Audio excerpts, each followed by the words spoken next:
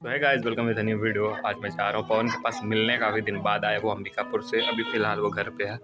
और उसके बाद अपन जाएँगे एक दूसरे फ्रेंड के पास, उसके घर के करीब जाएँगे, उसको देखेंगे क्या हाल चाल है, क्योंकि काफ़ी दिन से अपन मिले नहीं है तो जर्नी को स्टार्ट करते हैं स्टेट्यू और काइंड इन्फॉर्मेशन काफ़ी बड़ा हो चुका है length this is the length which I have grown about 1.9 years till the end of my life. Whenever i would like to have small cuts on my hairs so, i will keep them as long as much as i could. देखते हैं आगे का scene जो भी achievement होगा, उसके बाद धीरे धीरे आपको मैं शोकेस करूँगा और घूमने का अभी प्लान बन रहा है तो मीट करते हैं अपन पवन के पास.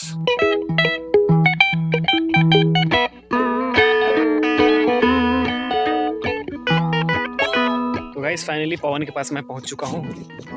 ये मेरा दोस्त बहुत दिन बाद आया अंबिकापुर से धंधेबाजी करने आए हो यहाँ हैं यही करने आए हो तो अपन अरविंद के पास जाते हैं यहाँ मिलते हैं कहाँ मिलता है वो लड़का ये सीन वो हो गया है जैसे थ्री इडियट्स में रनछोड़ को खोजने जाते हैं वही वाला सीन और देखते हैं वो मिलेगा अपन बेरोजगारी में घूम रहे हैं वैसे स्टेच्यू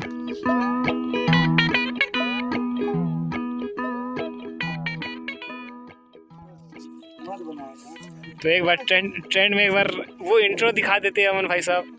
अरे एक्चुअली आपका बेवफा वाला सेकंड वो कब आएगा? वो एल्बम मिस हो गया ऐसा। पर मैं मैंने सुना है कि एक्ट्रेस का शादी हो गया है।